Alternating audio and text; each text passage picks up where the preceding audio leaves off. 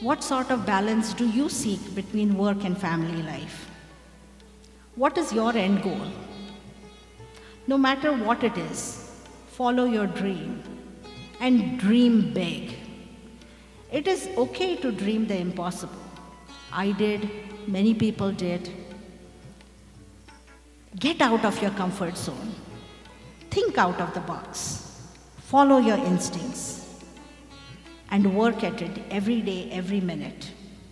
Life is a continuous source of change. People mature and develop through different stages in different times of life. And it is the direction of this constant change that determines the decline or the prosperity of a person, a community, or an entire generation. Whether we realize it or not, our one small action or change may influence the actions of those around us. Even small actions or influence changes we make in our lives can have profound impact. Just like epic women of India, we need to take an action. We need to be brave. We need to teach our kids how to practice spirituality. And last but not the least, we have to believe in ourselves as a leader. This led me to find the anchors of my anchor spirituality. I believe God is the inspiration for all that is good.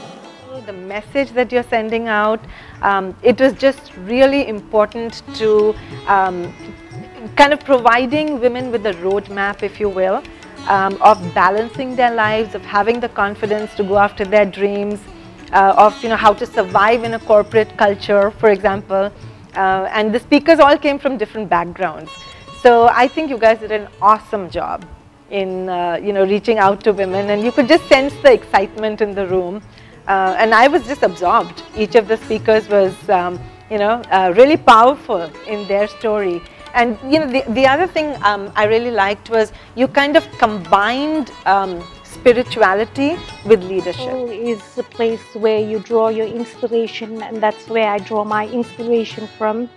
And for me, being here, being part of this event, putting it together, is a very, um, I find myself honored that I would be selected year after year to be doing it.